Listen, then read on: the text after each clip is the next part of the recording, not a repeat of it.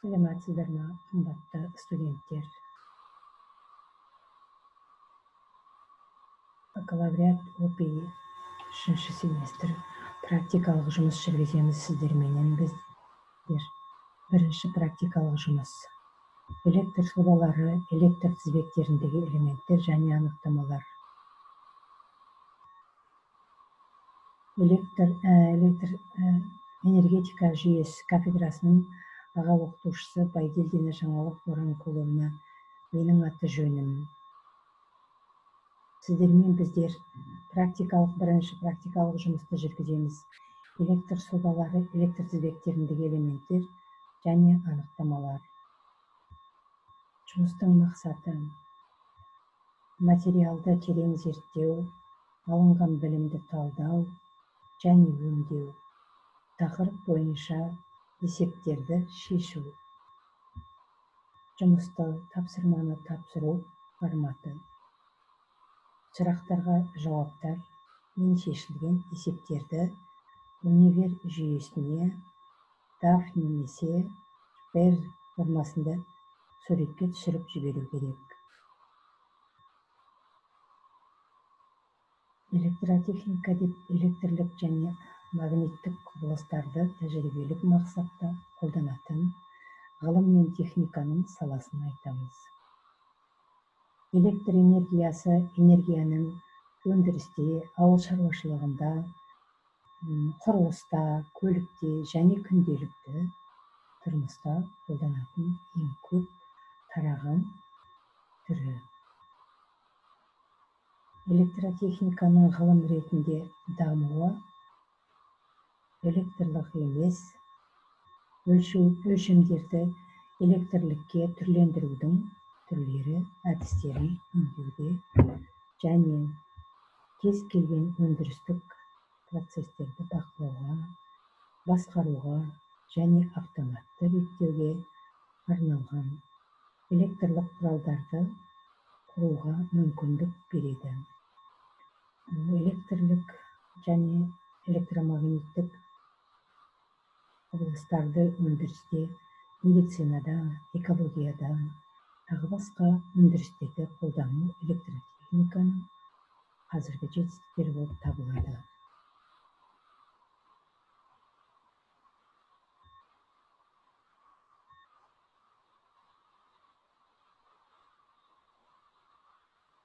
Құрылыс алаңдарында электр энергиясын кеңінен қолданады.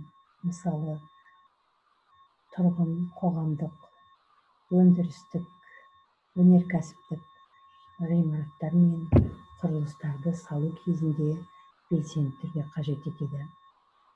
Құрылысты электрмен жабдықтау мәселелерін дұрыс және уақытылы шешуге яғни оны электр энергиясымен жеткілікті көлемде жоғары сапада және белгіленген мерзімде қамтамасыз етуіне байланысты көп жағдайда құрылыс монтаждық жұмыстарды жүргізу қарқыны құрылыс машиналары мен механизмдердің тиімді жұмысы және түбінде құрылыс бағдарламасының сәтті жүзеге асырылуына тәуелді болады. Электр энергиясын құрылыста тұтыну үнемі өсіп келеді. Ресейдің халық шаруашылығының барлық басқа салаларында да электр энергиясын пайдалану қажеттілігі біртіндеп артып келеді. Ресейде жаңа қуатты электр энергетика объектілері іске қосылып жатқанымен электр станциялары қазіргі кезде толық жүкпенен жұмыс істеп жатыр. Сондықтан электр энергиясын үнемдеу ең маңызды жалпы мемлекеттік міндет. Электр энергиясын пайдалану мәселелерін дұрыс және техникалық тұрғыдан сауатты шешу электротехника және электроника курсын оқу кезінде шешілетін негізгі міндеттерінің бірі болып табылады.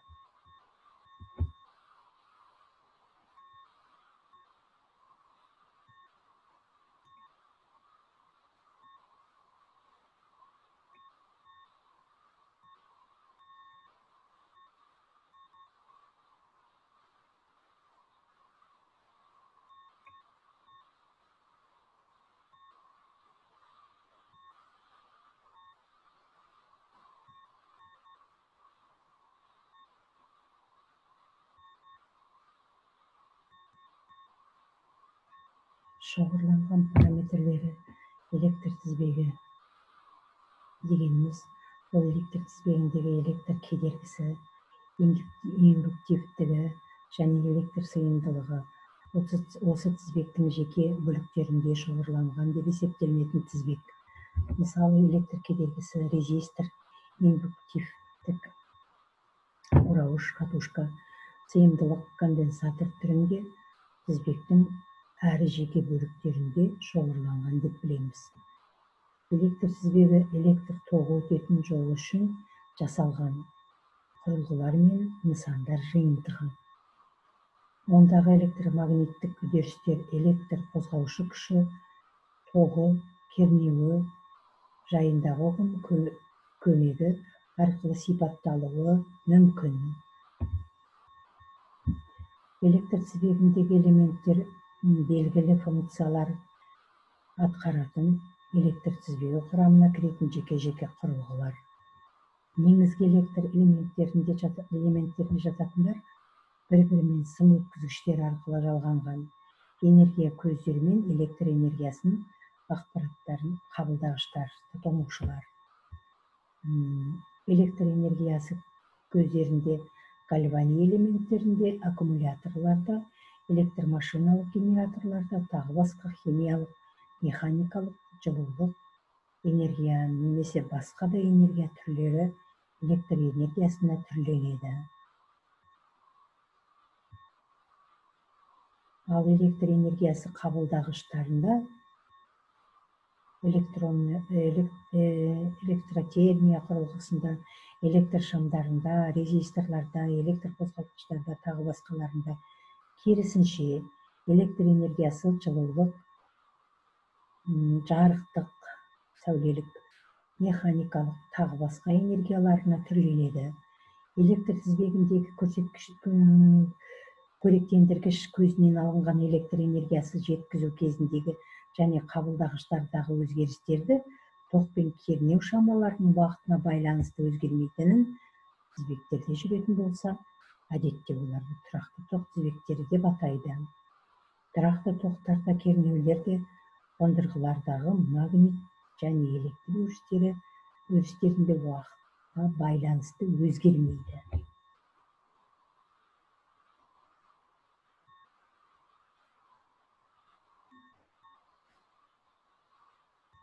Электр энергиясын қабылдағыштар электрошамдар электропештер және энергиясы басқа түрлі энергияларға жылулық механикалық жарық және тағы басқа түрленетін құралдар.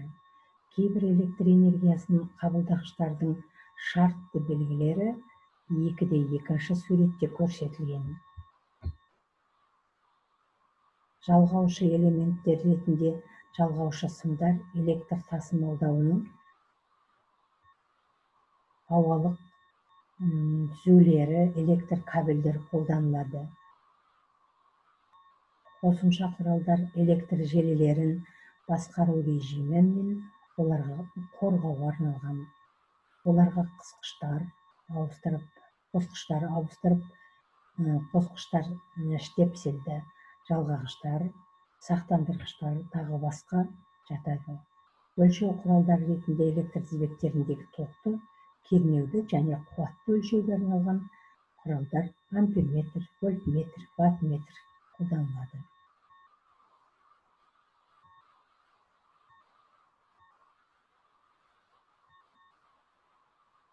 Электр тізбектерінің тізбектерінің өздерінің түрлері түрлі қасиеттеріне қарай бірнеше топқа бөлуге болады. Олар токтың түріне қарай айнымалы ток тұрақты ток бір фазалы үш фазалы және көп фазалы ток тізбектері элементтерді қосу әдістері бойынша тармақталған және тармақталмаған тізбектер б электр энергия көздерінің санына қарай бір және бірнеше энергия көздері бар тізбектер в элементтердің вольт амперлік сипаттамаларына байланысты сызықты және сызықты емес тізбектер және тағы басқалар. Осы тарауда тұрақты тоқтың электр тізбектерін қарастырамыз. Сұлбаларда тұрақты тоқты и әрпімен энергия көздерінің электрқозғаушы күшін е әрпімен кернеуді в кедергілерді р әрпімен индуктивтілікті л өзара индуктивті м сыйымдылықты с әріптерімен белгілейміз. Электр тізбегінің сұлбасы дегеніміз ол электр тізбегіндегі элементтерді шарт бойынша белгілеп графикалық түрде бейнелеу және осы элементтердің бір бірімен жалғануын көрсету. Халықаралық өлшем бірлігі си жүйесінде ток күші ампермен кедергісі оммен электр қозғаушы күші және кернеу вольтпен өлшенеді. Вольт италия физигі мың жеті жүз қырық бесінші жылы өмірге келіп мың сегіз жүз жиырма жетінші жылы өмірден озған италия физигінің атымен қойылған.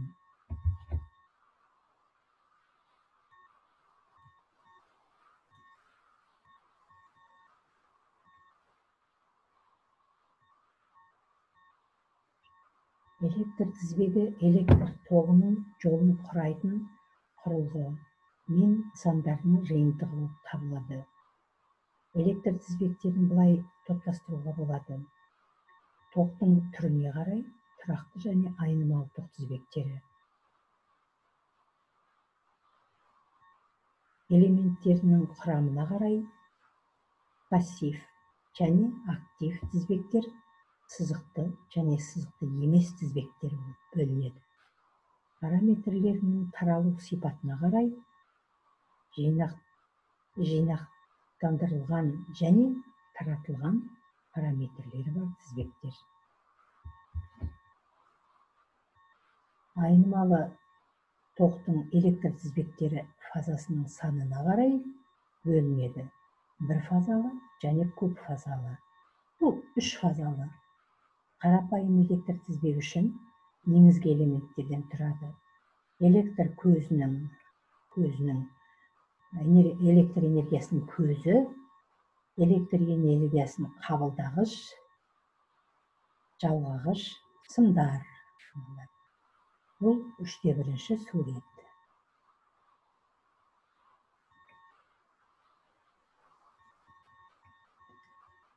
Электр тізбегіндегі электр тізбегіне негізгі элементтермен қоса көмекші элементтер де кіреді. Мәселен басқару үшін шаппақ қосқыш ауыстырып қосқыш түйістіргіш қорғаныш үшін сақтандырғыш реле реттеу үшін реостаттар ток пен кернеудің тұрлауландырғыштары трансформаторлар бақылау үшін өлшеуіш аспаптар қажет электр энергиясының көзі қандай да бір электрлік емес энергия түрін электр энергиясына түрлендіргіштер болып табылады. Осындай түрлер түрлендірудің негізгі түріне электромеханикалық генератор жатады. Ол механикалық энергияны электр энергиясына түрлендіреді.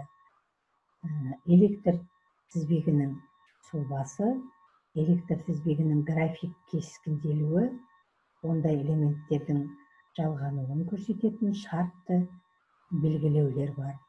Мысалы үшін мына үште екінші суретке қарасақ бірінші тұрған генератор екінші тұрған гальваникалық элемент үшінші тұрған электрқозғалтқыш одан кейінгі электр шамы одан кейін резистор. Одан кейін айнымалы резистор.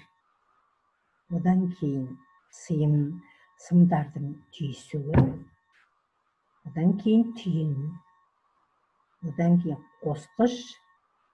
Кейінгі өткізгіш сым. Амперметр вольтметр электр тізбектерінде элементтерді тізбектеп және параллель жалғайды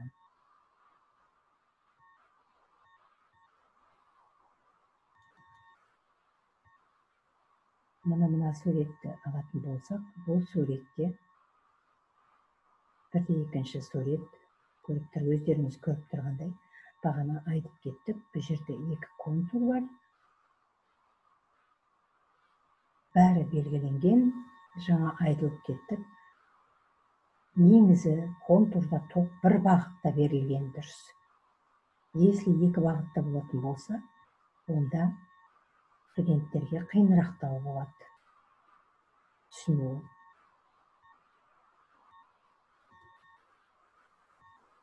мынау суретте мысалға берілген екінші зертханалық жұмыста. Бұл жерде үш контур бар. Сұлба бойынша жұмыс бойынша жұмыс қандай элементтер орналасқан неше контурдан тұрады неше тармақ түйіні түйін тоқтарын бағытын сызыңыз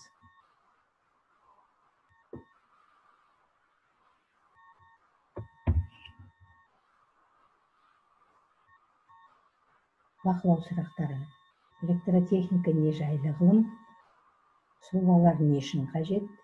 Түйін дегеніміз не? Тармақ дегеніміз не? Контур дегеніміз не?